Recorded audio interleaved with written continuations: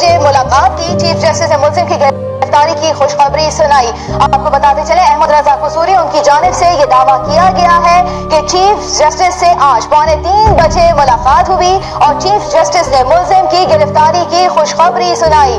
احمد رضا قصوری، ان کی جانب سے یہ دعویٰ کیا جا رہا ہے کہ زینب کے قاتل کو گرفتار کر لیا گیا ہے اور ساتھ میں انہوں نے یہ بھی دعویٰ کیا ہے، ان کا یہ کہنا ہے کہ چیف جسٹس سے آج پونے تین بجے ملاقات ہوئی تھی اور ایسے میں اس ملاقات میں چیف جسٹس نے ملزم کی گرفتاری کی خوشخبری سنائی۔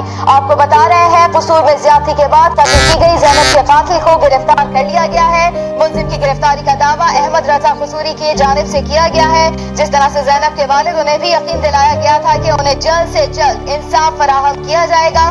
اور آج جب ملاقات ہوئی ہے احمد رضا قصوری کی چیف جسٹس سے، آج پونے تین بجے یہ ملاقات ہوئی ہے اور چیف جسٹس نے ملزم کی گرفتاری کی خوشخبری سنائی احمد رضا قصوری، ان کی جانب سے یہ کہا جا رہا ہے۔ بالکل ارم اب یہ سب سے بڑا سوال ہے کہ آخر یہ شخص کون ہے جس کو فوٹیج میں دیکھا جا سکتا ہے، جس میں بڑے اطمینان کے ساتھ زینب اس شخص کا ہاتھ پکڑی ہوئی ہے اور آگے بڑھتی چلی جا رہی ہے۔ کون ہے یہ شخص؟ ایک بہت بڑا سوال یقیناً ہمارے لوگ بھی جاننا چاہیں گے، جیسے یقیناً ہمارے لوگ بھی جاننا چاہیں گے، جیسے جیسے ہم تک اس خبر کی تفصیلات پہنچیں گی، اپنے ناظرین کو ہم مسلسل اپڈیٹ کرتے رہیں گے۔ پنجاب پولیس کی جانب سے یہ خبر سامنے نہیں آئی ہے، بلکہ احمد رضا قصور کی جانب سے یہ خبر سامنے آئی ہے۔